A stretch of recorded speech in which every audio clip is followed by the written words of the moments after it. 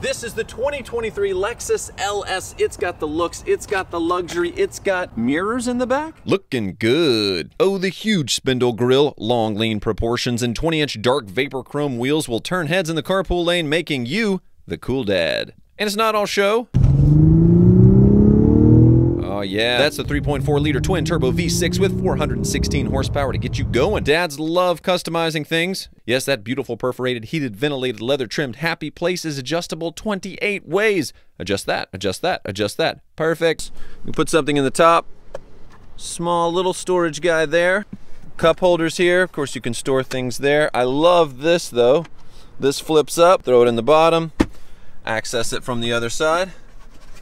For tech, you're getting a 12.3 inch touchscreen, wireless Apple CarPlay, oh, and a face melting 23 speaker Mark Levinson sound system. Speakers in the doors, speakers on the roof, speakers all around. And the luxury. Just look at the door. They close by themselves, by the way. It's also great for rear passengers. I'm an important businessman. I got things to do and I need more space. But how do I look? Oh yeah. I'm six foot one and uh, my coiffed hair is hitting the top. Yes, it's the businessman's family ride, but does it dad? Yes,